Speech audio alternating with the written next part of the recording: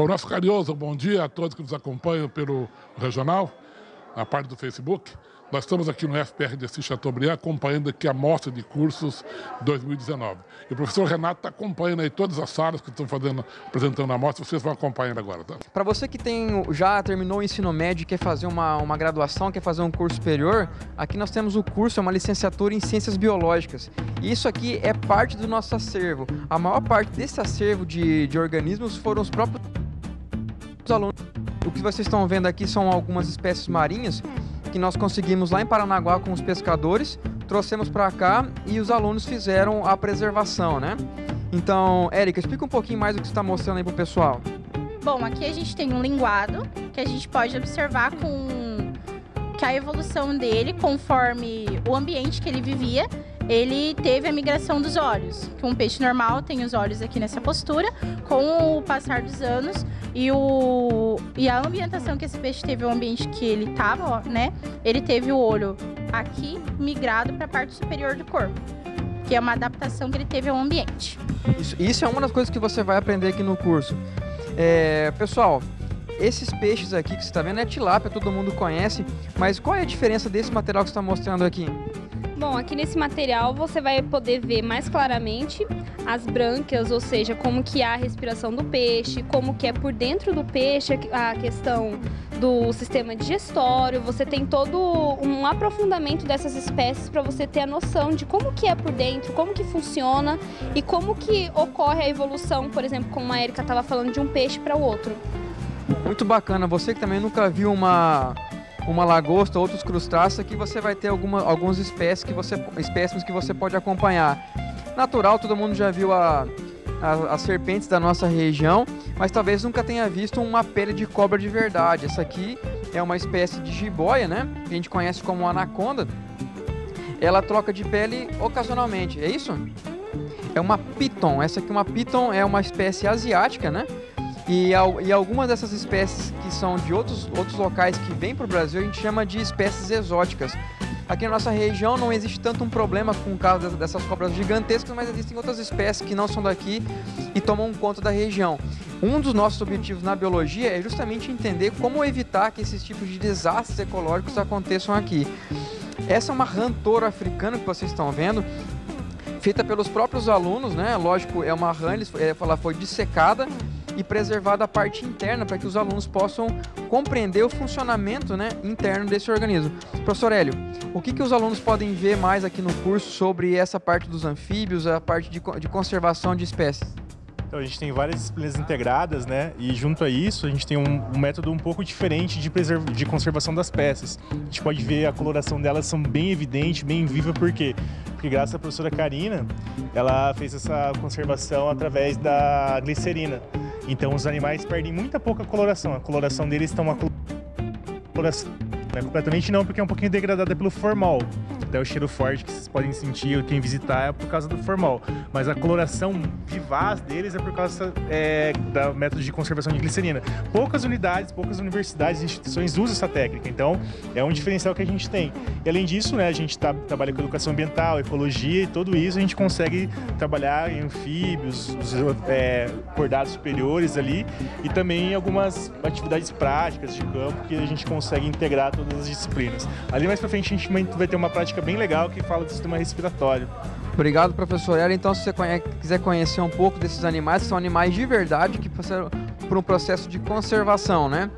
Talvez você nunca tenha visto um funcionamento de um pulmão, mas a gente tem um pulmão aqui de, uma, de um bovino e você vai ver qual é o funcionamento dele. Roseli, mostra para nós como é que é a respiração desses animais. Para que nós respiramos, né, o ar tem que entrar. Então, esse movimento do pulmão do bovino é o mesmo movimento do pulmão do humano. Então, vamos fazer?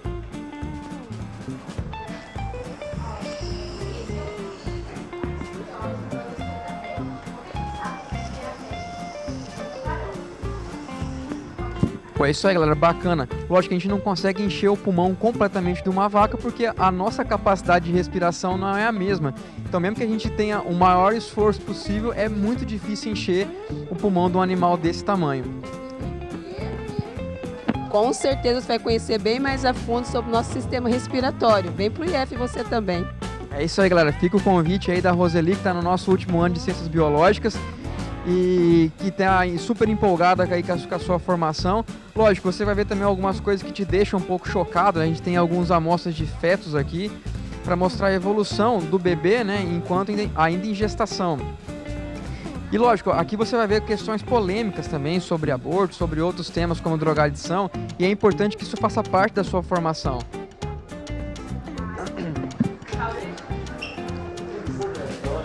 Bom, a parte de jogos digitais é uma parte extremamente importante na sua formação. Existem hoje vários métodos de ensino. Um deles é por meio dos jogos. Então aqui, se você quiser fazer uma coisa diferente, ele está jogando aqui tem um campeonato de League of Legends, que vocês conhecem como LoL.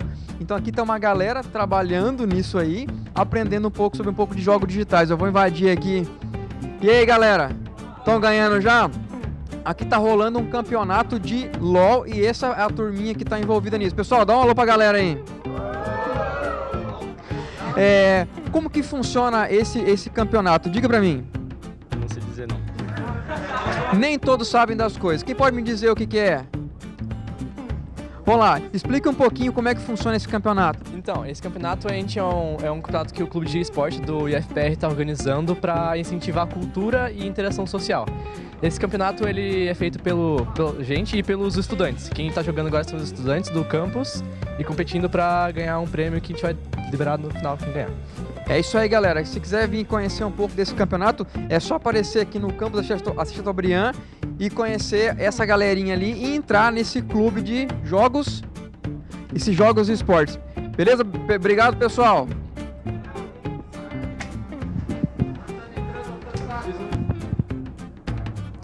Nós estamos aqui no Laboratório 1 do Instituto Federal do Paraná, onde se você quiser fazer a inscrição na hora, você pode vir aqui e fazer a inscrição em um dos nossos laboratórios. A Mari vai ficar muito feliz de te receber e ajudar. A Mariana é nossa aluna, foi nossa aluna do, do curso de informática e hoje trabalha aqui no Instituto Federal do Paraná, na Secretaria Acadêmica. Mari, conta um pouquinho sobre o processo seletivo nosso. Então, o processo seletivo está aberto. É, a gente estava realizando inscrição tanto para o curso técnico integrado ensino médio, quanto para o nível superior. A nossa novidade esse ano é que no, no nível superior a gente tem um curso novo de gestão comercial. Então, aqueles que tiverem interesse, podem estar vindo fazer a inscrição com a gente aqui na Secretaria Acadêmica, das 7h30 da manhã às 8h30, que a gente vai estar dando todos os auxílios que forem precisos para você. Perfeito. Mário, você foi nosso aluno aí por quatro anos. O que, que o IF mudou na sua vida? Oh, o IF ele mudou o meu jeito de pensar não só de forma acadêmica, mas para a vida mesmo, porque a gente leva muitos ensinamentos daqui. É, eu mesma tenho vários professores que hoje são meus amigos e fazem parte da minha vida familiar. E hoje, graças ao IF, eu consegui ganhar uma bolsa uma faculdade particular e estou cursando o curso dos meus sonhos, graças ao ensinamento que o IF me deu. Pô, que legal, Mari. É muito bom ouvir isso, né? E assim, para o pessoal saber, é natural que a gente tenha dificuldade de aprender, que a gente tenha um, um, ritmo diferente. Você tinha alguma dificuldade que você superou aqui no Instituto? Sim, é, a gente vem de realidades diferentes, né? Aqui no IF, ele é um ritmo totalmente diferente do que a gente vem das nossas escolas, das outras escolas. Eu, por exemplo, eu repeti um ano, só que eu me dei a força de vontade de não desistir, porque o ensinamento, o ensinamento aqui no IF, ele busca te levar a ensinar para a vida, não só a parte acadêmica real. É, eu tive muita dificuldade porque eram matérias totalmente assim, um pouco mais avançadas do que a que eu tive. Mas depois que você pega o jeito, você fala assim: nossa, puxa vida, podia ter começado desde o começo. Pô, muito bacana saber isso. Então, caso você queira fazer inscrição, até dia 14 de agosto as inscrições estão abertas para todos os nossos cursos aqui. Obrigado, Mário. Agora. O que você vai perguntar para mim? É isso aí, galera. Para você que queira conhecer, aqui estão as nossas alunos, nossos alunos aqui. Alguns tímidos, outros nem tanto. Essa aqui é a Bárbara, ela cursa agricultura. Bárbara, conta um pouquinho mais do seu curso.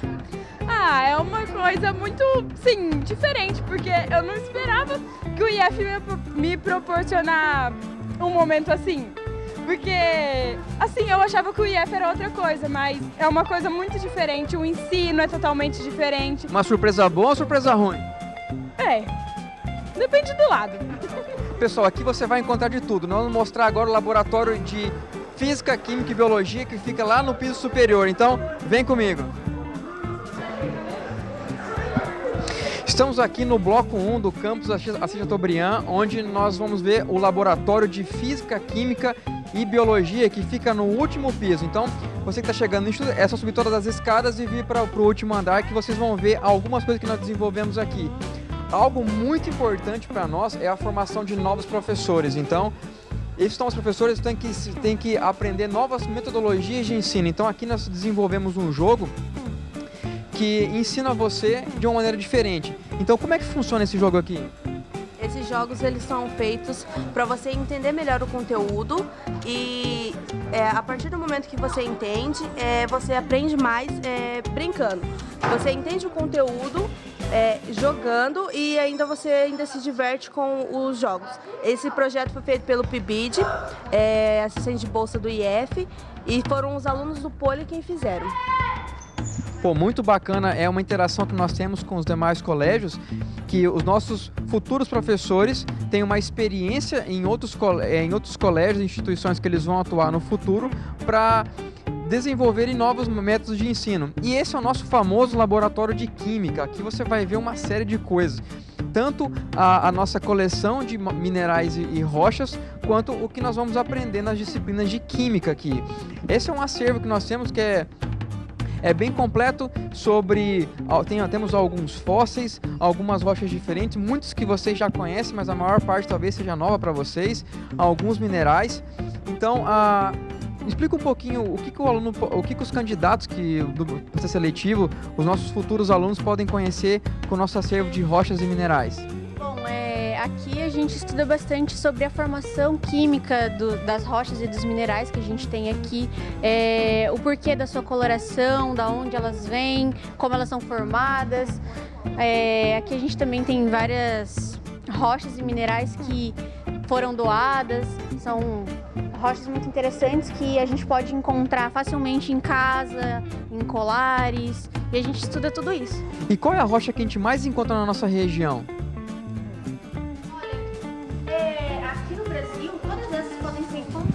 É, aqui a gente usa bastante em relação às sedimentares.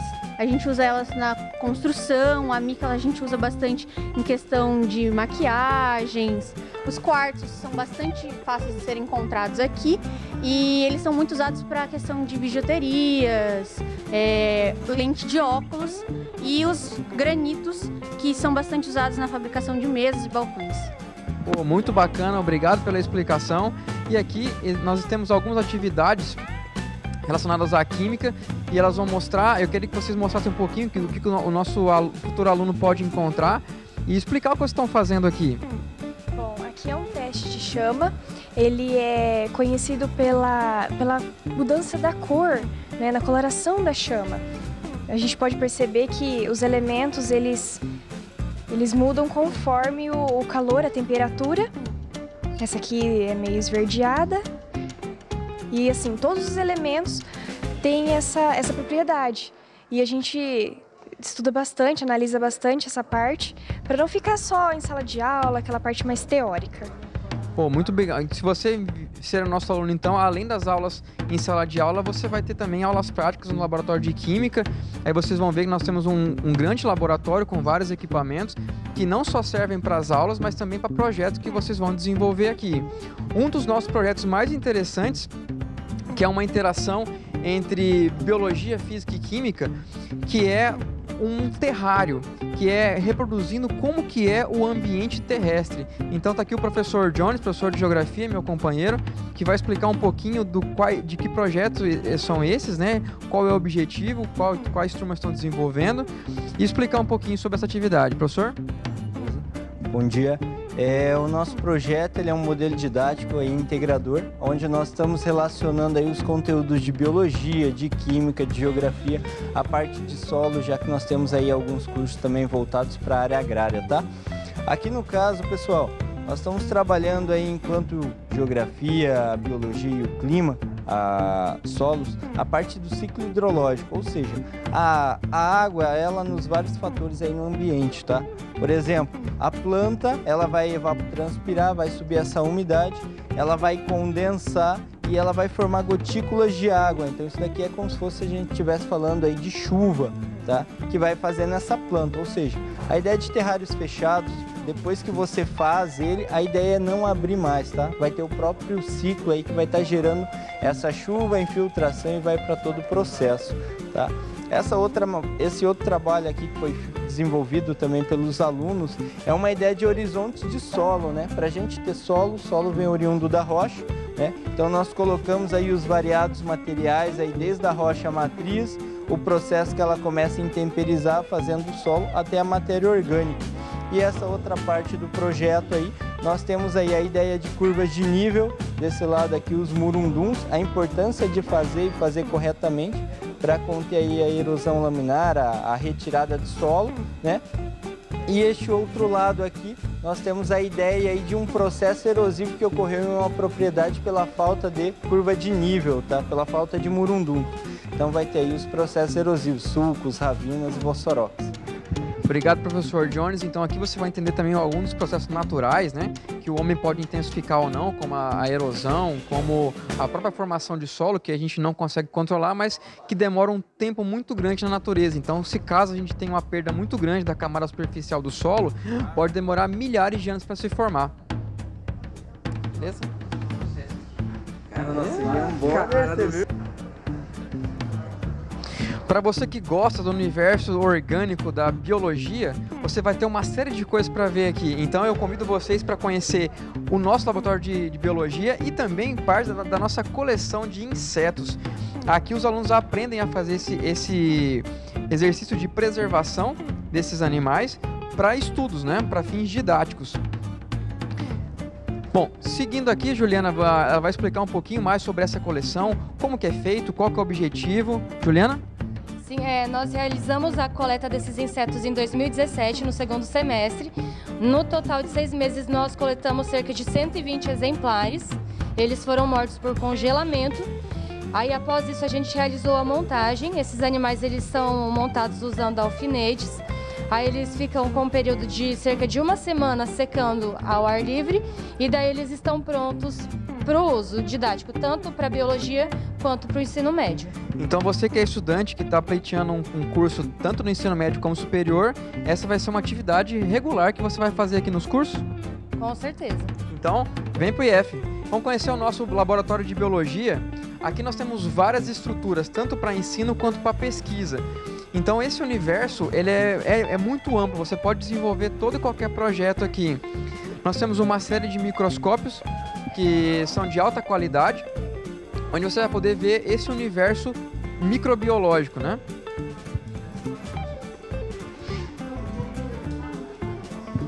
Eles pegaram só um pedacinho da pena Só uma amostra, pra você ter uma noção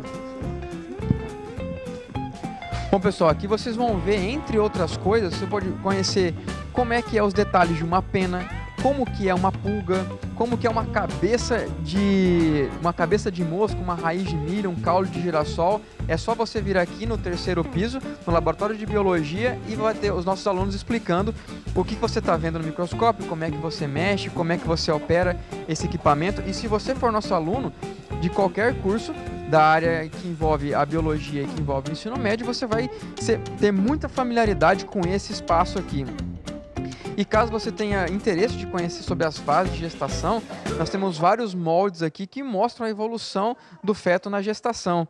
Então, Mônica, explica um pouquinho para nós o que, que, nós, o que, que nós estamos vendo aqui. Bom, aqui é, são, como o professor já disse, é as fases da gestação, né? Aqui a gente tem é, um feto com quatro semanas, com a presença da notocorda, que é algo que a gente perdeu com a evolução. É, aqui com dois meses, ele tem os brotos dos membros inferiores sendo formados. Aqui no início do terceiro mês, a mãozinha e as unhas estão sendo formados já. E aqui a gente tem o final do terceiro mês, onde o pé e as unhas do pé estão sendo formados. E aqui o que a gente tem de diferente são as posições do feto, né? Aqui o feto está é, atravessado, se ele estiver dessa forma, a mãe da criança precisa fazer cesárea, né? Aqui nessa posição, o bebê pode nascer, porém com complicações, o cordão umbilical pode ser atravessado pelo pescoço. E essa é a posição normal e a correta de, do parto normal, né? E aqui no quarto mês a criança já está pronta, a partir daqui ela só vai crescer. Aqui a gente tem os gêmeos univitelinos. Os gêmeos serão iguais porque eles dividem a mesma placenta. E aqui nós temos um feto bovino com um ou dois meses de gestação, onde ele já está formado com patinha, o rabinho, o olhinho. E a partir daqui também esse feto ele só cresce. Aqui temos ele também com a presença da placenta. É isso aí, pessoal. Tudo isso vocês vão ver estudando biologia. Obrigado. Valeu.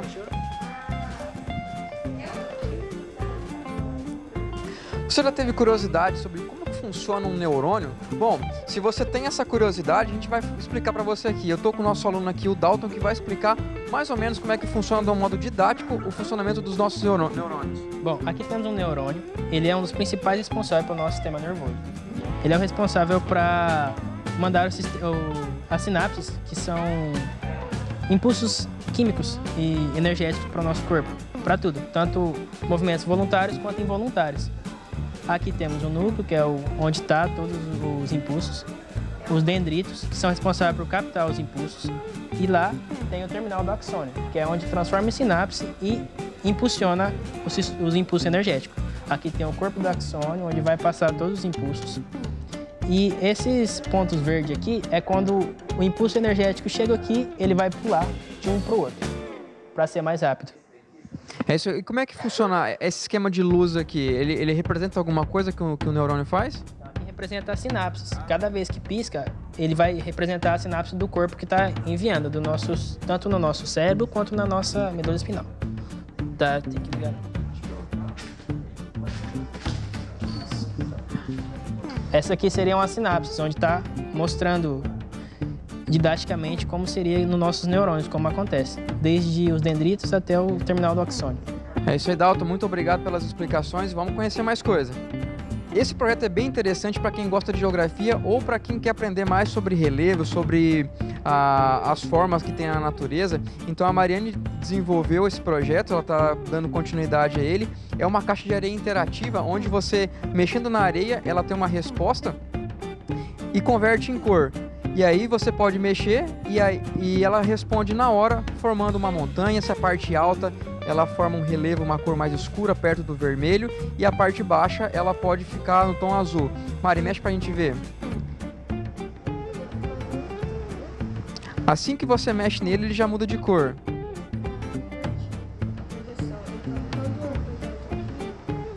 Quando eu mexo aqui, ele vai deixar azulado aqui a projeção ela tá numa imagem é, invertida. Então, quando eu mexo aqui desse lado, a imagem ela vai mudar desse lado, por causa da projeção que ela é feita no espelho. Esse é o diferencial dela. Que geralmente o projetor ele vai aqui em cima, em algum lugar, mas é, essa caixa aqui não. O projetor vai aqui embaixo e projeta a imagem no espelho que vai ser refletida aqui.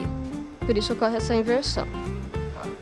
Mari, mexe de novo a, cria um uma outra forma de relevo o pessoal ver como é que funciona. Yeah.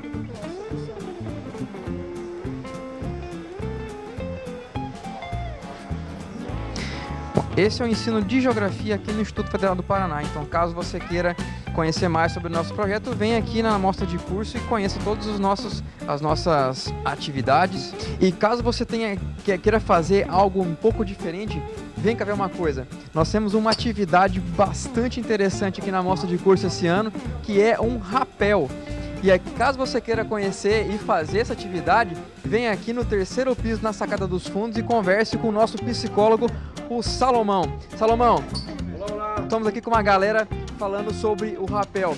Explica um pouquinho o, qual é o objetivo dessa, dessa atividade e qual é a importância de superar o medo através dessa atividade. Olá, gente, tudo bem? Aqui é uma atividade lúdica, é pra gente sentir um pouquinho de adrenalina mesmo e pra gente saber que a gente consegue superar os desafios aí. Tá aí o Matheus, vai descer agora. É isso aí, Matheus. Tá com medo? Não. Eu duvido muito que não esteja com medo. Tá mentindo? Não, eu já fui ontem duas vezes.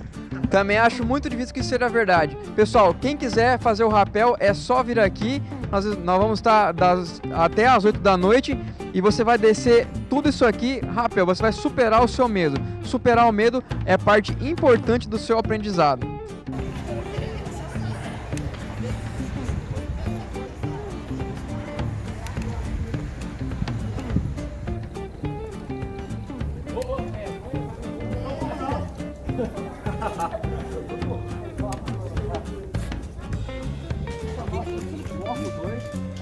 tem algumas salas de aula e boa parte dos nossos laboratórios. Então, esse é um bloco novo, terminou ano, faz dois anos, e a gente vai mostrar um pouquinho para vocês o que você pode encontrar nesse bloco. Vem comigo.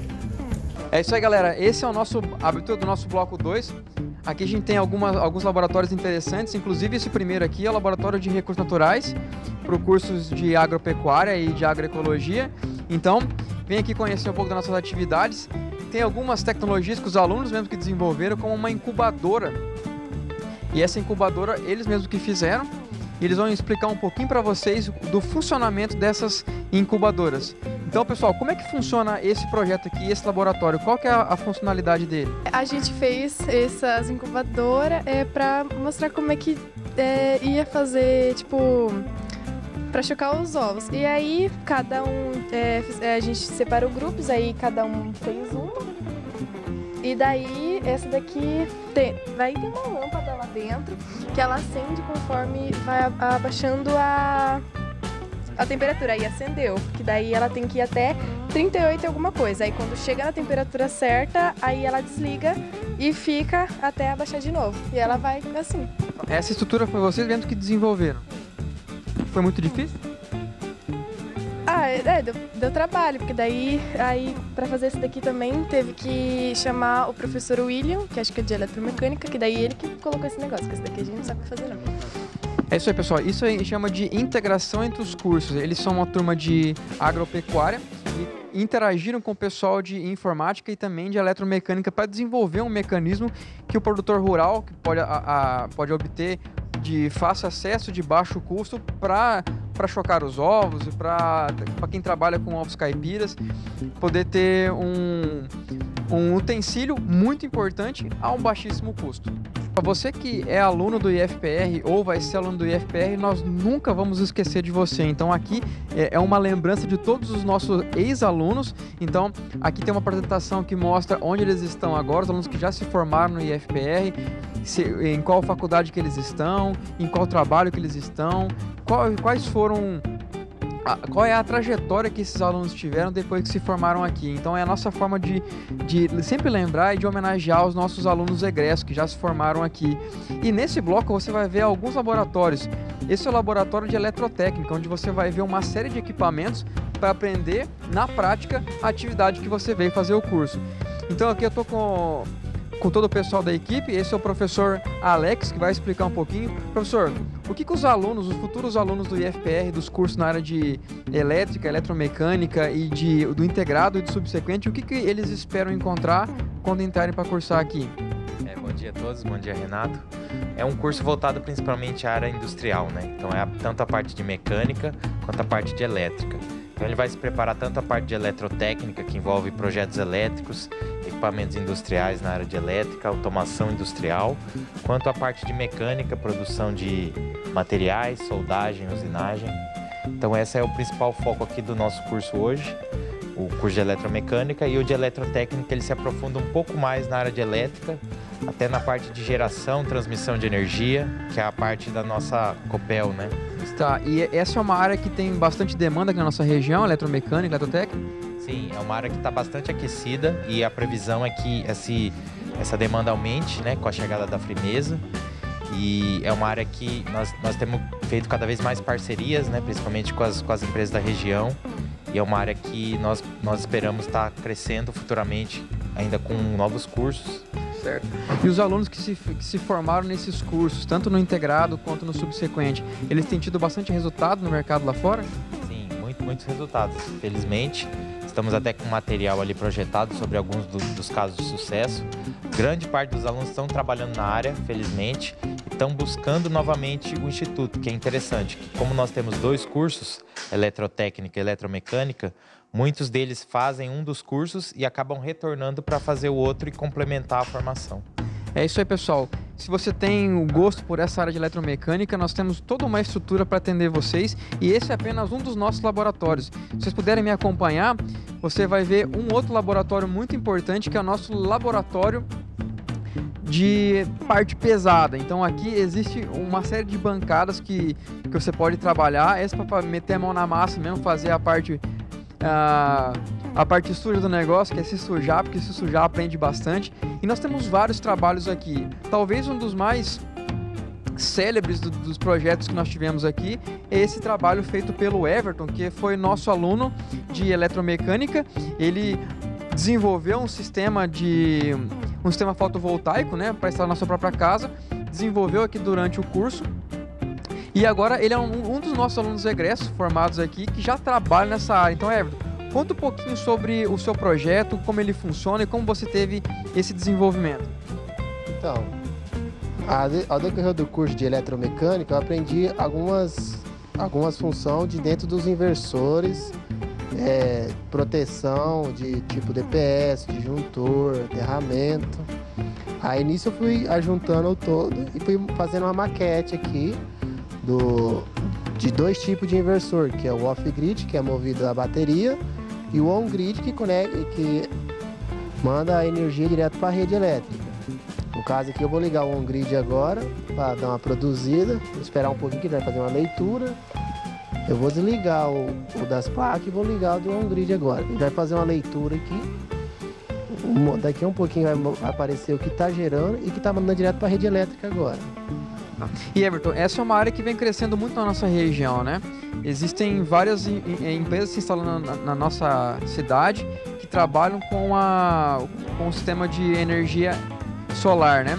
Você trabalha hoje nesse setor? Sim, sim. Eu estou trabalhando numa empresa aqui na cidade. Qual é a empresa que você trabalha? Sop Solar. Então, pessoal, existe uma grande demanda por mão de obra, por profissionais qualificados nesse setor. Então, o curso preparou você para atuar nesse setor? Sim, sim. E é, e é importante que o pessoal é, procure sempre um, um, aprendizado contínuo. Você trabalha nessa área, cursou o curso de eletromecânica. Você acha que é um mercado que está crescendo na nossa região? Ah, sim, tem bastante, bastante demanda. Então, obrigado, Everton, pela sua participação. Aham. Ah, importante o Everton está mostrando aqui que existe um painel lá fora gerando uma energia, certo? Isso. Tem uns cabinhos ali que ele vai lá fora. Só que tem que mostrar, né? Problema, a gente, a gente passa depois lá e mostra. então tá. Então, isso aí, ele tá produzindo agora, tá produzindo tipo 65 amperes, é, volts, watts no caso. É, e o que vocês estão vendo lá fora, que o, o nosso cinegrafista está mostrando, uma parte escura lá, é um painel fotovoltaico funcionando agora. Então, ele está gerando uma energia e passa por todo esse sistema aqui desenvolvido pelo nosso aluno egresso, o Everton. Então, Everton, obrigado pela sua participação. Pessoal, o que vocês estão vendo aqui é a nossa área experimental, né? É onde nós fazemos os experimentos na, na área agropecuária. O que vocês estão vendo aqui, então, é um sistema de mandala, que é um, é um dos tipos de produção voltados para essa conservação de recursos naturais. Tanto que vocês podem encontrar isso facilmente nos cursos de agroecologia, mas também no de agropecuária. Aqui o que você vê é um sistema integrado de cultivo, né? Que tem um galinheiro no meio e tem uma série de círculos em volta que um ciclo ajuda o próximo. Ah, nós temos uma área pequena, mas muito produtiva e não somente para a produção, mas também para o desenvolvimento de tecnologias. O que nós temos aqui que vocês estão vendo é uma mini estação meteorológica em funcionamento onde nós conseguimos captar uma série de, de dados importantes como temperatura, umidade, a direção do vento, a intensidade do vento.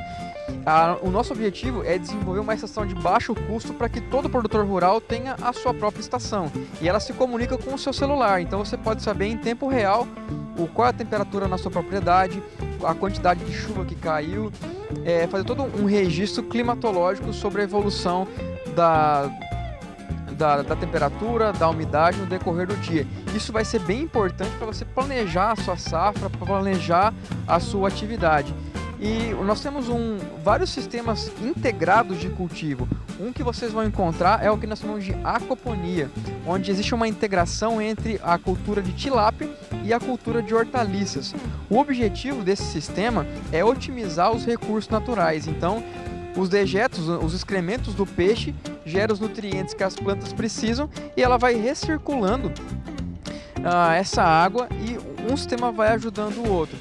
Esse é um sistema disponível para pequenas propriedades. Em grandes propriedades, isso tem que requer uma quantidade maior de, de estudos, maior de investimentos, e o objetivo é trazer uma alternativa para o pequeno produtor que queira fazer ou para consumo próprio ou para venda em feiras, em outros outros estabelecimentos comerciais. Então o que vocês vão ver aqui é um trabalho desenvolvido por uma estudante já formada do curso de biologia que encontrou uma alternativa para fazer justamente esse cultivo é, em pequenas propriedades. Então, o que vocês estão vendo aqui ó, é, um, é uma caixa d'água comum e um sistema com duas bombonas.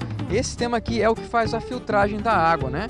Essa filtragem da água ela vai recirculando, alimentando então uma estrutura feita com cano de PVC normal e onde tem pequenos receptáculos aqui onde a gente cultiva algumas hortaliças, como alface, como rúcula e outras que a gente conhece, né? Esse é um sistema chamado de acoponia. É um sistema já usado no mundo inteiro e que nossos alunos aqui desenvolveram para ser utilizado em pequena escala, diminuindo o custo e aumentando a produtividade para os pequenos produtores. E teremos novidades daqui nos próximos anos. Esse é o espaço reservado para o futuro bloco de eletromecânica. Aqui vai ter um bloco didático com laboratórios de máquinas pesadas que vai abrigar os nossos cursos técnicos nessa área. É uma importante construção que nós estamos tendo aqui para ampliar as vagas e melhorar cada vez mais a nossa qualidade de ensino. Existe uma demanda muito grande por profissionais qualificados nessa área e nós, sabendo dessa demanda, estamos investindo para melhorar cada vez mais a nossa oferta de cursos, melhorando a sua formação e garantindo para que você tenha uma oportunidade de trabalho e consiga melhorar a sua vida, prosperar e transformar a nossa região. Vem para o IF!